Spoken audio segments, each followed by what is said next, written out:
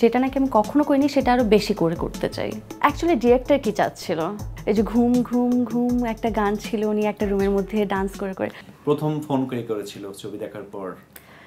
Phone phone তো তখন হচ্ছে গিয়ে অ্যাকচুয়ালি ফোনের থেকে সবারটা সামনাসামনি পাচ্ছিলাম কারণ আমাদের তো প্রিমিয়ার করা হয়েছিল। আমাদের কলিগ যারা ছিলেন এবং সিনেমাতে যারা অ্যাক্টিং করেছেন প্রত্যেকে এখানেই ছিলেন। সামনাসামনি অনেক মন্তব্য পেয়েছে এবং বাকিটা হচ্ছে গিয়ে হয়তো বা ইন্টারভিউ থেকে দেখে নিয়েছি। পার্টটুকু মানে মনে হয়েছে যে এটা একটু এক্সেপশনাল একজন আর্টিস্টের নাম ধরে যদি বলেন যে হ্যাঁ উনি ওইটা মন্তব্য করছে এবং আমার কাছে মনে হয়েছে this is so different for me অনেকেরটাই এমন আছে। যেমন সুবর্ণা ম্যাম খুব সুন্দর কমেন্ট করেছে, দিনার ভাই অনেক ভালো কমেন্ট করেছে। এছাড়াও হচ্ছে গিয়ে অনেকেই আছেন, কার্ডটা রেখে কার্ডটা বলব। সুবর্ণা একটা ভালো লেগেছে উনি বলছিলেন যে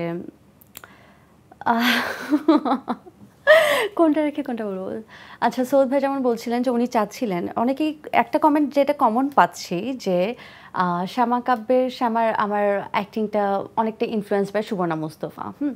সেই জায়গাটা আবার অনেকে বলছে যে, আমি হয়তো ওনাকে কপি করেছি হ্যাঁ? তো এই এই জায়গাটায় আবার একটা জিনিস কি যে অ্যাকচুয়ালি ডিরেক্টর কি চাচ্ছিল? ডিরেক্টর চাচ্ছিল হচ্ছে টাইম ট্রাভেল করে সেই সময়টাতে গিয়ে যখন নাকি ইয়ে সুবর্ণা ম্যামের সিনেমা নামটা এই মুহূর্তে ভুলে গেলাম। ওনার যে একটা ফার্স্ট সিনেমা কি ছিল ওনার? আচ্ছা কি জানি এখন নামটা মনে পড়ছে না হ্যাঁ? এই যে ঘুম ঘুম ঘুম একটা গান ছিল উনি একটা রুমের মধ্যে ডান্স করে করে। সেই সময় যে সুবর্ণা ম্যাম ছিল সেই সুবর্ণা ম্যামকে হচ্ছে উনি এই সিনেমার জন্য কাস্ট করতো যদি টাইম ট্রাভেল মেশিন থাকতো। তো ডিরেক্টর চাচ্ছিল এরকম অবভিয়াসলি হচ্ছে আমার অ্যাক্টিংটা একটু সেই প্যাটার্নের হতে হবে। সেটাই আমি ট্রাই করেছি। আর ভালো মন্তব্য হচ্ছে দিনার ভাই খুব সুন্দর করে বলেছে আমার অ্যাক্টিং ওনার কাছে অনেক ভালো লেগেছে শ্যামা ক্যারেক্টারটা জীবন্ত করতে পেরেছি।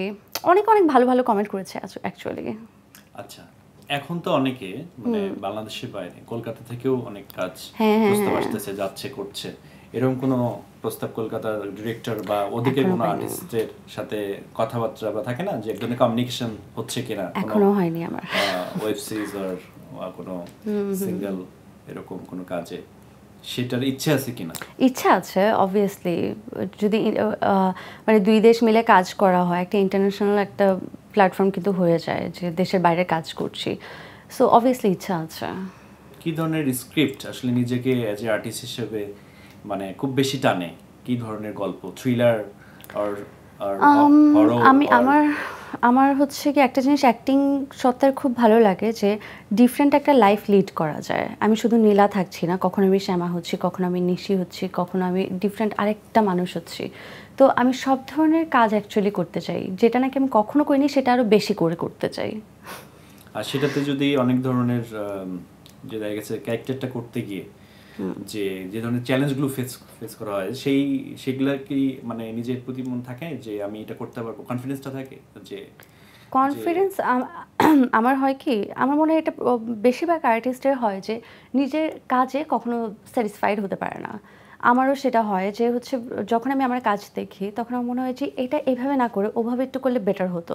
এবং ওভাবেও যদি করি আমি, তারপর আমার মনে হবে এটা আরেকটু অন্যরকম করা যেত। সো স্যাটিসফ্যাকশন তো হয় না, কিন্তু হচ্ছে কি যখন নাকি নতুন কোনো কাজ আসে, নতুন কোনো ক্যারেক্টার আসে, সেটার জন্য এফোর্ট দিতে আমি খুব ভালোবাসি। সেটার জন্য খাটতে, যা যা করা প্রয়োজন ক্যারেক্টার জন্য, সেগুলো করতে আমি খুব ভালোবাসি। সো আই থিঙ্ক যদি এই ভালোবাসাটা থাকে একটা ভালো কাজের ভাব- ভালোভাবে ক্যারেক্টারটাকে ফুটিয়ে তোলা পসিবল হয়।